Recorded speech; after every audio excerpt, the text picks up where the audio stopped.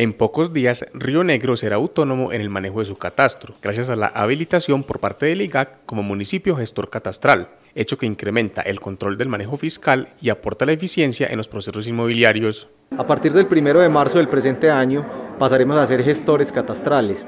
es decir, seremos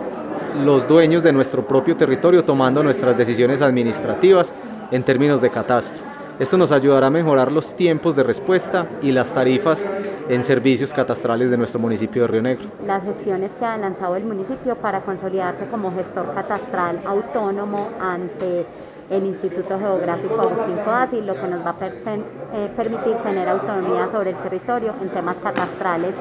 independientemente de Catastro Antioquia, que es como hasta el momento se venía manejando. Los concejales exponen sus conceptos sobre la iniciativa, dejando claro que la decisión debe favorecer a la comunidad rionegrera en asuntos como agilización en los trámites.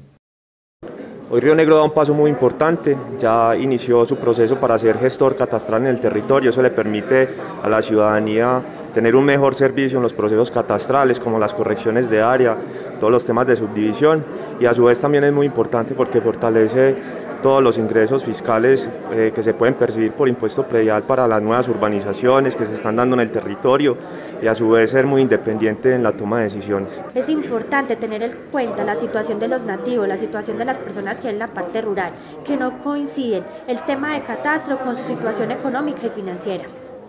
Es bueno recordar que a partir del 1 de marzo, Río Negro será uno de los 19 territorios del país que tiene la potestad de ejercer como gestor catastral independiente.